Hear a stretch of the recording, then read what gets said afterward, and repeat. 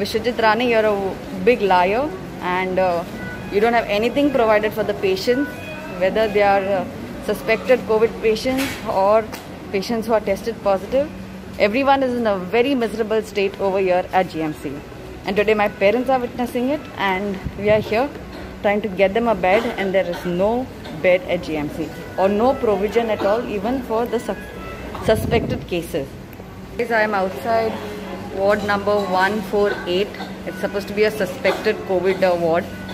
Uh, my mom and dad are both uh, in uh, the same kind of category, which is uh, suspecting of COVID, and to uh, the sad reality that what Vishwajit Rane keeps saying that everything is sorted out. There are no beds for the present patients right here.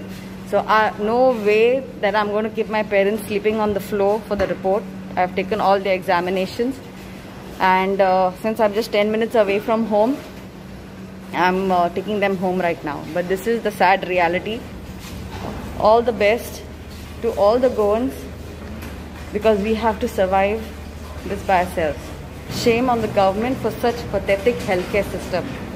This is what it is, the reality.